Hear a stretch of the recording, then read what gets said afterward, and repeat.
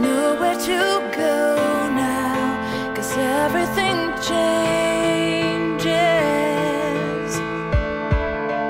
Depuis des jours, mon esprit s'évade et me